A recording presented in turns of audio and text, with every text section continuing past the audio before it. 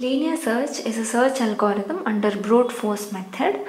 It performs sequential search on all the elements of the array one by one until the element is fetched. The pseudocode looks something like this. For i is equal to 0 to n minus 1, if a of i is equal to x, then written i. i is the position of the element x which was to be found. Let's take an example of the array 1, 2, 3, 4, 5.